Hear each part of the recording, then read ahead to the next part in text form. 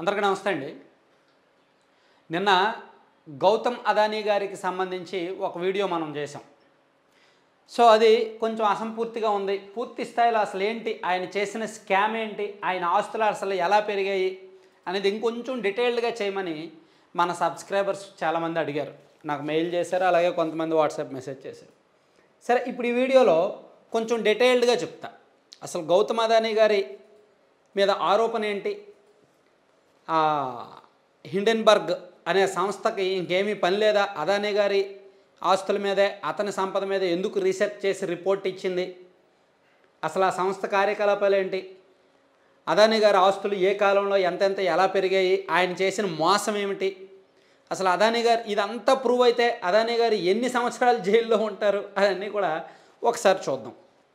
సబ్జెక్ట్లోకి వెళ్ళే కంటే ముందు మీకు ఒకసారి సత్యం రామలింగరాజు గారికి సంబంధించిన స్కామ్ గురించి కానీ లేదా నైన్టీన్ నైంటీ టూ స్కామ్ మీ అందరికీ తెలిసే ఉంటుంది. ఈ రెండు ఒకసారి మనం గుర్తు చేసుకుంటే చాలా సింపుల్. వాళ్ళ షేర్ వాల్యూ పెంచి మార్కెట్ని మేనేజ్ చేసి షేర్ వాల్యూని పెంచి ఇన్వెస్టర్స్ చేత కొనిపించారు. ఎగ్జాంపుల్ ఈ పెన్ వాల్యూ దీని వాల్యూ పది రూపాయలు అయితే దీన్ని వంద రూపాయలుగానో తొంభై రూపాయలుగానో దీని ప్రోడక్ట్ వాల్యూ చూపించి దీనివలన ఇది తయారు చేస్తున్న సంస్థ వాల్యూని పెంచి మార్కెట్లో మేనేజ్ చేస్తే ఇన్వెస్టర్లు దీని అసలు వాల్యూ పది రూపాయలు అయినప్పటికీ వంద రూపాయలకు కొంటారు. సో అలా ఇన్వెస్టర్లను మోసం చేస్తోంది అనేది అదాని మీద కంపెనీ మీద ఆరోపణ. సేమ్ సత్యం రామలింగరాజు గారి స్కామ్ కావచ్చు లేదా అంతకుముందు nineteen nineteen ninety two scam కావచ్చు మన దేశంలో చాలా జరిగాయి. సరే ఈ స్కామ్ ప్రకారం సత్యం రామలింగరాజు గారికి ఏడేళ్ళ జైలు శిక్ష పడితే అదానికి ఎన్నేళ్ళు జైలు శిక్ష పడాలి? సరే ఇంకొంచెం డీటెయిల్డ్గా చెప్తా. అసలు సబ్జెక్ట్లోకి వెళ్ళే కంటే ముందు ఈ హిండెన్బర్గ్ రీసెర్చ్ రిపోర్ట్ ఏం చెప్పింది?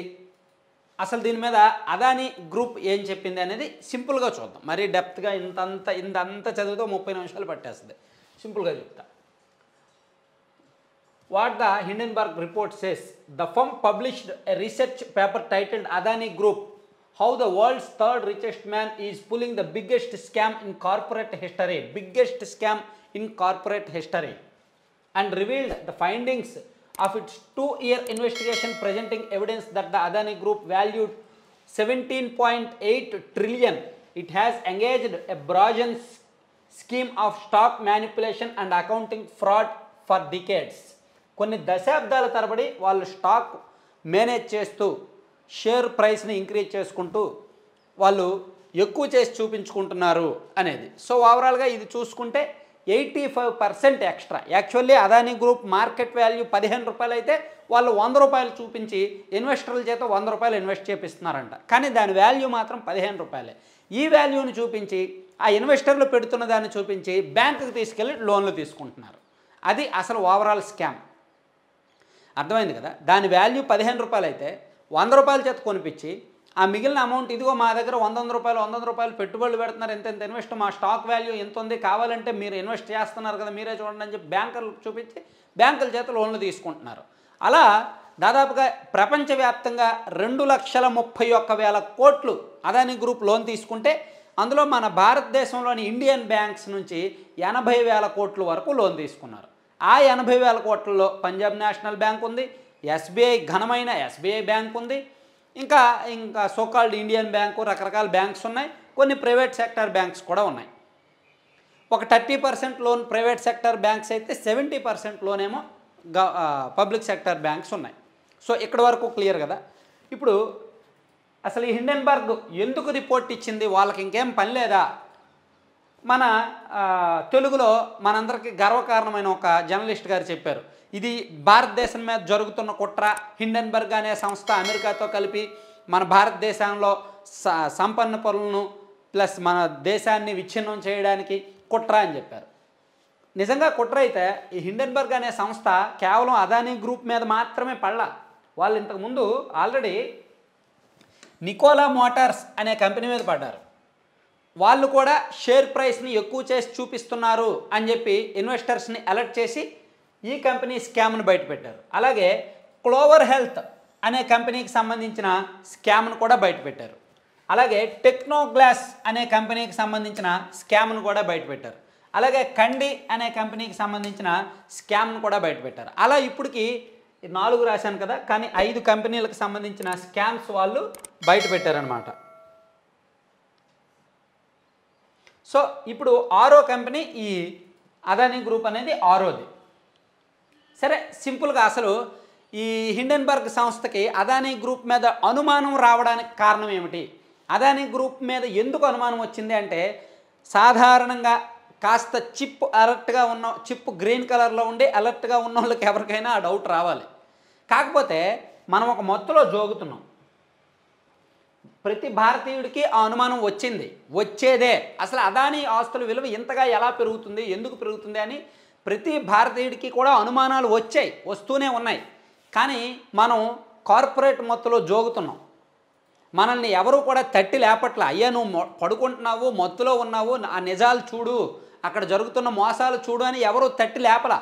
కానీ ఒక అమెరికన్ రీసెర్చ్ సంస్థ హిండన్బర్గ్ అనే సంస్థ మనల్ని తట్టి లేపింది. అయ్యా మీ దేశంలో జరుగుతున్న మోసాలు ఇవి ప్రపంచవ్యాప్తంగా ఆయన బ్యాంకులను మోసాలు చేస్తున్నాడు మీ ఇండియన్ బ్యాంక్స్ని కూడా దోచుకుంటున్నాడు అసలే మీ ఇండియన్ ఫైనాన్షియల్ పొజిషన్ అంతగా బాగోలేదు అందులోకి ఎస్బీఐ ఎల్ఐసి లాంటి వాళ్ళే అతనికి లోన్స్ ఇచ్చి అతను దానిలో స్టాక్ ఎక్కువగా కొంటున్నారంట చూసుకోండి అని చెప్పి తట్టి లేపారనమాట అసలు వాళ్ళకి ఎందుకు అనుమానం వచ్చింది? ఇదిగో మీరు ఇది చూడొచ్చు ఒకసారి. ఇది ఎకనమిక్ టైమ్స్లో రెండు వేల ఇరవై ఒకటిలో అనుకుంటా పబ్లిష్ చేశారు. Adani group of companies in the last six months రెండు వేల ఇరవై ఒకటి సెప్టెంబర్లో వాళ్ళు పబ్లిష్ చేసింది ఇది. ఇదిగో అదాని రి రిన్యూవబుల్స్ డెబ్బై ఒక్క శాతం అదాని ట్రాన్స్మిషన్ మూడు వందల ఎనిమిది శాతం అదాని టోటల్ ఐదు వందల పదిహేను శాతం Adani power one seventy percent. So ఓవరాల్గా చూసుకుంటే రెండు వేల ఇరవై ఇరవై ఒకటిలో అదాని ఆస్తులు బీభత్సంగా పెరిగాయి. రోజుకి పదహారు వందల కోట్ల రూపాయలు సంపాదించాడు గౌతమ్ అదానీ గారు. రోజుకి పదహారు వందల కోట్లు రెండు వేల ఇరవై ఇరవై ఒకటి అంటే కరోనా కోవిడ్ పీక్స్లో ఉన్న స్టేజ్.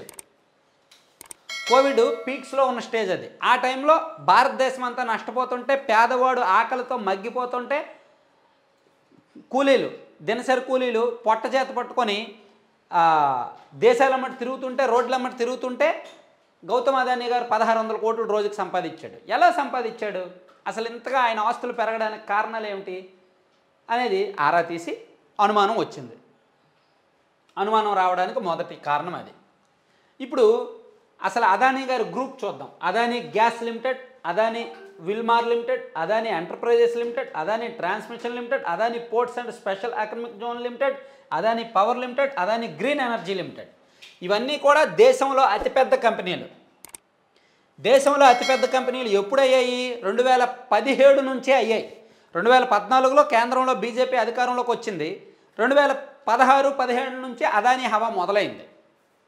సో మీరు ఒకసారి చూసుకుంటే Adani ports and special economic zone అంటే మీ అందరికీ తెలిసే ఉంటుంది. మన భారతదేశంలో సముద్ర తీరం ఉంది కదా?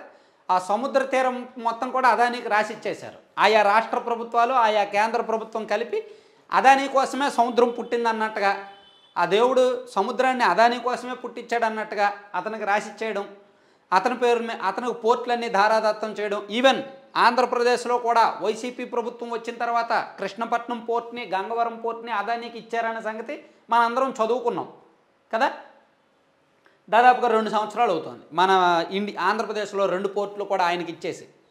సో అలాగే Adani green energy limited solar ప్రపంచంలో అతిపెద్ద సోలార్ ప్లాంట్స్ అలాగే సోలార్ విద్యుత్లో ఇది టాప్ మోస్ట్ కంపెనీలో ఉంటుంది. అలాగే అదాని గ్యాస్ లిమిటెడ్ రెండు వేల పదిహేడు పద్దెనిమిదిలో భారతదేశంలో గ్యాస్కి సంబంధించి గ్యాస్ పైప్ లైన్స్కి సంబంధించి టెండర్స్ వేస్తే మొత్తం తొంభై రెండు టెండర్స్ గాను నలభై టెండర్స్ అదాని గ్రూప్కే వెళ్ళాయి. అంటే దాదాపుగా forty six forty seven percent of tenders Adani గ్రూప్కే వెళ్ళాయి అన్నమాట అలాగే ఇంకా మనం చెప్పుకునే కొద్దీ సముద్ర తీరము గాలి గ్యాసు అలాగే విద్యుత్ ఉత్పత్తికి సంబంధించి పవర్ లిమిటెడ్ ఇవన్నీ కూడా అంటే ప్రకృతి ప్రసాదించిన ప్రతిదీ కూడా అదానికి ధారాదత్తం చేసే మన ప్రభుత్వాలు. ఇప్పుడు మన ప్రజల మీద మన ఆస్తుల మీద ప్రభుత్వానికి హక్కు ఉండకపోవచ్చు. కానీ ఈ ప్రకృతి సంపదల మీద ప్రభుత్వానికి హక్కు ఉన్నట్టు ఫీల్ అవుతాయి. ఎందుకంటే అది ప్రజల ఆస్తి ప్రజల ఆస్తిని కాపాడాల్సింది ప్రభుత్వాలు. సో ప్రభుత్వాలు ఇటువంటి కార్పొరేట్ దిగ్గజాలకు ధారాదత్తం చేస్తూ ఉంటాయి. అదంతా రొటీన్గా జరుగుతూ ఉంటుంది మన దేశంలో. సో రెండు వేల పన్నెండులో అదానీ ఆస్తి మొత్తం చూసుకుంటే ఇరవై రెండు వేల కోట్లు. రెండు వేల పన్నెండులో అదానీ ఆస్తి గౌతమ్ అదానీ ఆస్తి ఇరవై రెండు వేల కోట్లు. రెండు వేల ఇరవై రెండులో మొత్తం ఆయన ఆస్తి విలువ పన్నెండు లక్షల కోట్లు. మొత్తం టోటల్ నెట్వర్క్ పన్నెండు లక్షల కోట్లు. అందులోనూ దాదాపుగా ఎనభై శాతం ఆస్తి రెండు వేల పంతొమ్మిది నుంచి రెండు వేల ఇరవై రెండు మధ్యలోనే వచ్చింది. చూసారా మొత్తం ఆస్తి ఇరవై రెండు వేల కోట్లు ఎక్కడ? పన్నెండు లక్షల కోట్లు ఎక్కడ? దాదాపుగా ఏడు వందల రెట్లకు పైగా పెరిగింది. అందులోనూ రెండు వేల పంతొమ్మిది నుంచి ఇరవై రెండు మధ్యలోనే బీభత్సంగా ఆస్తులు పోగేశారు. సో ఇంత షార్ట్ టైంలో పైకి వెళ్ళినప్పుడు అది గాలిబుడ కాదంటారా? సో అది పేకమేడ కాదంటారా? సో గౌతమ్ అదానీ గారు ఇంత షార్ట్ టైంలో ఆయన ఎలా పెద్ద ఆయన ఎలా బిగ్గెస్ట్ రిచెస్ట్ మ్యాన్ అయ్యాడు? ఎస్ పోర్ట్స్ ఆయన పేరు మీద వెళ్తున్నాయి. విద్యుత్ పైప్ గ్యాస్ పైప్ లైన్లు ఆయన కంపెనీకే వెళ్తున్నాయి. అలాగే భారతదేశంలో జరిగే ట్రాన్సాక్షన్స్లో ఒక సగటు భారతీయుడు రోజుకి పది ట్రాన్సాక్షన్స్ చేస్తే అందులో రెండు లేదా మూడు గౌతమ్ అదానీ గ్రూప్కి సంబంధించిన కంపెనీలకు వెళ్తున్నాయి. పోనీ ఎంత వెళ్తున్నాయి. అతను ఏమన్నా నిజాయితీగా వ్యాపారం చేస్తున్నాడా? షేర్ వాల్యూ పెంచి ఆస్తులు పెంచుకుంటున్నాడు. షేర్ వాల్యూ పెంచడం బ్యాంకులకు చూపించడం లోన్లు తీసుకోవడం. ఇదే జరుగుతుంది. ఇప్పుడు ఫైనల్గా ఇక్కడ బ్యాంకులు ఎంత పిచ్చివి? బ్యాంకులను పిచ్చివనాలా లేదంటే వాళ్ళ వ్యాపార సామ్రాజ్యమే అలా ఉంటుందనాలా? అనేది మనం ఒకసారి చూద్దాం. సాధారణంగా బ్యాంకులు అప్పులు ఇవ్వాలంటే నీకో నాకో మనం ఒక పర్సనల్గా అప్పుకెళ్తే నీకు ఎంత వేస్తుంది నువ్వేం ష్యూరిటీ పెడతావు అని అడుగుతారు. మనం ఇల్లు కట్టాలన్నా కారు కొనాలన్నా ఏం చేయాలన్నా సరే ముప్పై మూడు క్వశ్చన్లు అడుగుతారు. చాలా కష్టం లోన్ తీసుకోవడం. అదే ఒక కంపెనీ సృష్టించి ఆ కంపెనీ వాల్యూ మనం మేనేజ్ మ్యానిపులేషన్ ద్వారా తయారు చేస్తే మ్యానిపులేట్ చేస్తే ఆ కంపెనీ వాల్యూని పెంచేస్తే లోన్ ఈజీగా వచ్చి పడుతుంది. దానికి అదానీ గారు అలాగే సత్యం రామలింగరాజు గారు లాంటి కంపెనీలే సాక్ష్యం. అలాగే మనకిప్పుడు లో లోన్ ఇమ్మంటే ఇవ్వవు. అదే మనం ఒక ల్యాండ్ భూమి పట్టాన్ని తాకట్టు పెడితే ఇస్తాయి. ఒక ప్రభుత్వ భూమిని తాకట్టు పెట్టి లోన్ తీసుకోవచ్చు. ఇప్పుడు ఒక ప్రభుత్వ భూమి ఉంటుంది. ప్రభుత్వ భూమి ప్రభుత్వం పేరు మీదే ఉంటుంది. కానీ దాన్ని ఆన్లైన్లో అంటే మ్యానిపులేషన్ ఎలా జరుగుతుందో చెప్తున్నా. ల్యాండ్స్ విషయంలో ఒక చిన్న ఉదాహరణ. ఒక గవర్నమెంట్ ల్యాండ్ ఉంటుంది ఒక పది ఎకరాలు సో అండ్ సో ఒక ఊర్లో. అది గవర్నమెంట్ పేరు మీదే ఉంటుంది. దాని మీద ఎవరు వెళ్ళరు ఎవరు అనుభవించరు ఖాళీగా అలాగే ఉంటుంది. దాని సర్వే నెంబర్ని ఆన్లైన్లో మాత్రం మీ భూమి పోర్టల్ ఉంటుంది కదా దానిలో ఆ సర్వే నెంబర్ని ఏదో ఒక వ్యక్తి పేరు మీద ఇచ్చేయచ్చు. అది ఎంఆర్ఓల డిజిటల్ సిగ్నేచర్ ద్వారా అయిపోద్ది. సో అది ఎంఆర్ఓలకు ఒక లక్ష రూపాయలు రెండు లక్షల రూపాయలు ఇస్తే ఎంఆర్ఓలు చేసేస్తారు అది. చాలా చోట్ల జరిగింది కూడా. సో అప్పుడు సో కొంత భూమి మన పేరు మీదకి ఆన్లైన్లోకి వెళ్ళిపోద్ది. ఆ ఆన్లైన్లోకి వెళ్ళిన దాన్ని మనం పట్టాదారు పాస్ పుస్తకం తీసుకుంటాం. ఆ పట్టాదారు పాస్ పుస్తకం ద్వారా ఇవ్వడానికి విఆర్ఓకి మళ్ళీ ఎంతో కొంత ఇస్తాం. సో ఇక్కడ మ్యానిపులేషన్ జరిగిపోయింది. భూమి మన పేరు మీదకి వచ్చేసింది. ఈ పట్టాదారు పాస్ పుస్తకాన్ని బ్యాంకులో తాకట్టు పెట్టి ఆ భూమి మనదిగా చూపించి లోన్ తీసుకుంటాం. ఒక లక్ష రూపాయలు రెండు లక్షలు పది లక్షలు ఎంతో కొంత లోన్ తీసుకుంటాం. బ్యాంక్ ఎందుకు లోన్ ఇస్తుంది? భూమిని ష్యూరిటీగా చూసి లోన్ ఇస్తుంది. కానీ ఆ భూమి ఎవరిది? గవర్నమెంట్ది. దాని మీదకి వెళ్ళరు. ఎందుకంటే అక్కడ రిజిస్ట్రేషన్ ఆఫీస్లో గవర్నమెంట్ ల్యాండ్ అనే ఉంటుంది. రెడ్ కలర్లోనే ఉంటుంది. కానీ ఇక్కడ ఆన్లైన్లో మాత్రమే మారింది. ప్లస్ ఆ చుట్టుపక్కల ఉన్న వాళ్ళకి కూడా తెలుసు. ఫిజికల్గా ఆ ల్యాండ్ గవర్నమెంట్దే అని. దాని జోలికి ఎవరు వెళ్ళరు. సో కేవలం బ్యాంకు లోను కోసం మాత్రమే ఆన్లైన్లో మారుస్తారు. బ్యాంక్ లోన్ వచ్చేసిన తర్వాత పట్టాదారు పాస్ పుస్తకాలు తాకట్టు పెట్టేసిన తర్వాత మళ్ళీ ఆన్లైన్లో యాజ్ యూజువల్ గవర్నమెంట్ ల్యాండే అని రాసిన సందర్భాలు కొన్ని ఉన్నాయి. సో ఇక్కడ మోసపోయింది బ్యాంకు. అక్కడ భూమిని ఒక భూమి అనే ఐటెంని వాడుకున్నారు. మ్యానిపులేషన్ జరిగింది. కదా? సేమ్ అలాగే ఈ స్టాక్స్లో కూడా ఈ కార్పొరేట్ కంపెనీలు కూడా అలాగే మ్యానిపులేట్ చేస్తాయి. ఒక ఒక వస్తువు వాల్యూని లేదా ఒక కంపెనీ వాల్యూని పదిహేను రూపాయలు ఉన్నదాన్ని వంద రూపాయలు చూపించి అలా చూపించడానికి స్టాక్ స్టాక్ బ్రోకర్స్ని మేనేజ్ చేసి వాళ్ళు కంపెనీ వాల్యూ పెరిగిన తర్వాత ఇన్వెస్ట్ చేసే వాళ్ళని ఊరించి మా దాన్ని మార్కెట్ చేసుకొని ఆ ప్రోడక్ట్ని వాళ్ళ చేత పెట్టుబడులు పెట్టించి ఆ పెట్టుబడులను బూచిగా చూపించి బ్యాంకులకు వెళ్ళి బ్యాంకుల్లో లోన్లు తెచ్చుకొని అనుభవించడం ఆస్తులు పెంచుకోవడం. ఆ బ్యాంకులకు తిరిగి కడతారా లేదా అనే విషయం తర్వాత. దాన్ని మాత్రం అనుభవిస్తూ ఆస్తులు పెంచుకుంటూ రేపు పొద్దున్న ఏ విజయ్ మాల్యా లాగానో నీరవ్ మోదీ లాగానో ఇంకెవరిలాగానో ఎగ్గొట్టేయచ్చు. ఎగ్గొడితే బ్యాంకులు ఏం చేస్తాయి? ఇప్పుడు ఎవరో ఒక పెద్ద ఆయన బ్యాంకింగ్ రంగానికి చెందిన ఒక పెద్ద ఆయన ఒక మూడు రోజుల కింద ఒక స్టేట్మెంట్ ఇచ్చాడు. అదేంటంటే దేశవ్యాప్తంగా అదానీ గారికి బ్యాంకులు ఇచ్చిన మొత్తం విలువ జీరో పాయింట్ సెవెన్ పర్సెంట్ అంట. అంటే మొత్తం వంద రూపాయలు వంద రూపాయలు బ్యాంకులు రుణాలుగా బయట వాళ్ళకి ఇస్తే వ్యక్తులకు ఇస్తే అందులో డెబ్బై పైసలు మాత్రమే అదానీ గారికి అప్పు ఇచ్చారంట. సో అది పెద్ద ఎఫెక్ట్ కాదు. ఆయన అప్పు ఎగ్గొట్టినా సరే భారతీయ బ్యాంకులకు ఏమీ కాదు బ్యాంకింగ్ వ్యవస్థ ఏమీ కుప్పకూలిపోదు అని అంటున్నారు. కానీ అరవై ఐదు కోట్ల మంది ప్రజల మీద ప్రత్యక్షంగానో పరోక్షంగానో భారం పడుతుంది. అరవై ఐదు కోట్ల మందికి మన దేశంలో బ్యాంక్ ఖాతాలు ఉన్నాయి. ఆ బ్యాంకు ఖాతాదారుడికి ఖచ్చితంగా సర్కారు వారిపాటి సినిమాలో చూసాం కదా మనం. ఇప్పుడు ఎవరైనా లోన్ ఎగ్గొడితే ఒక అర్ధ రూపాయో రూపాయో రెండు రూపాయలో ఐదు రూపాయలో రకరకాల ఛార్జీల పేరిట వసూలు చేస్తారని అలాగే చేస్తారు. అంటే బ్యాంకులకు జరిగే కార్పొరేట్ మోసాలని కప్పిపుచ్చుకోవడానికి కడుపు కాలుతున్న పేదవాడి నుంచి వసూలు చేస్తారు. అదే మన దేశంలో వ్యవస్థలు. సరే అదానీ గారు ఇంత మోసం చేశారు కదా మరి మన దేశ వ్యవస్థలు ఏం చేస్తాయి? ఏమీ చేయట్లేదంటే వ్యవస్థలే ఆయనకు దాసోహం అయ్యాయి. అదానీ గారు ఎవరు? గుజరాత్కి చెందిన ఒక బడా వ్యాపారవేత్త. నరేంద్ర మోదీ గారు ఎప్పుడైతే రాజకీయాల్లోకి పైకి వచ్చాడో అదానీ గారు అలాగే వ్యాపారంలోకి పైకి వచ్చాడు నరేంద్ర మోదీ గారు ఎప్పుడైతే ప్రధానమంత్రి అయ్యాడో అదానీ గారు అప్పుడే కార్పొరేట్ దిగ్గజమయ్యాడు. సో ఇక్కడ ముఖేష్ అంబానీ గారిని తొక్కలేదు. అది సంతోషకరం. మనం ఇప్పుడు నేను మన మేధావి జర్నలిస్ట్ దగ్గరకు వస్తా. మొత్తం అంతా చెప్పేశాను. ఆయన గౌతమ్ అదానీ గారిని సపోర్ట్ చేస్తూ విపరీతంగా రోజుకు ఒక పది వీడియోలు అప్లోడ్ చేస్తున్నాడని మన ఫాలోవర్స్ చెప్తున్నారు. ఎందుకంత ప్రేమ? ఇప్పుడు మన తెలుగులో పెద్ద పెద్ద వ్యాపారవేత్తలు ఉన్నారు. అటువంటి వాళ్ళు ఎవరు కూడా అటువంటి వాళ్ళు ఎవరు కూడా షార్ట్ టైంలో పెద్ద మనుషులు అవలా షార్ట్ టైంలో వేల కోట్లు సంపాదించలా. అంతెందుకు? రతన్ టాటా గారు ఏ విధంగా సంపాదించాడు ఆయన? ఎంత కష్టపడ్డాడు ఆయన? ఇన్ఫోసిస్ నారాయణమూర్తి గారు. వీళ్ళ లైఫ్ స్టోరీస్ భావితరాలకు మనం పాఠంగా చెప్పుకోవడానికి ఉపయోగపడతాయి. పోన్ రామోజీరావు గారు. ఏ స్థాయి నుంచి ఏ స్థాయికి వెళ్ళాడు ఆయన? అలాగే ఆంధ్ర షుగర్స్ ముల్లపూడి హరిశ్చంద్ర ప్రసాద్ గారు. అలాగే అంబికా అగర్బత్తి ఆలపాటి రామచంద్రరావు గారు. ఇలా చెప్పుకుంటూ వెళ్తే కింది చాలా చిన్న స్థాయి నుంచి సైకిల్ మీద తిరిగి వ్యాపారాలు చేసే స్థాయి నుంచి ఒక పెద్ద స్థాయి వేలాది మందికి ఉద్యోగాలు ఇచ్చి వేల కోట్ల టర్న్ ఓవర్ కలిగిన కంపెనీలు నెలకొల్పారు. వీళ్ళెవరు కూడా షార్ట్ టైంలో పెద్ద మనుషులు అవలా ఈవెన్ ముఖేష్ అంబానీ కూడా వాళ్ళ ఫాదర్ ధీరుభాయ్ అంబానీ చెమట ముఖేష్ అంబానీకి వచ్చి ఆయన తెలివితేటలతో పెంచుకుంటూ వెళ్ళాడు. అఫ్ కోర్స్ ఆయన కూడా బీజేపీ అధికారంలోకి వచ్చాక పెరిగింది. అది అంత పెద్ద మోసంగా దాన్ని చూడక్కర్లా. అదానీది రూపాయికి తొంభై పైసలు మోసం అయితే ముఖేష్ అంబానీది రూపాయికి పది పైసలు మోసం అవుద్ది అది కన్నింగ్ మోసం ఇది క్రిమినల్ మోసం. ఆ రెండు కూడా తేడాలు ఉంటాయి.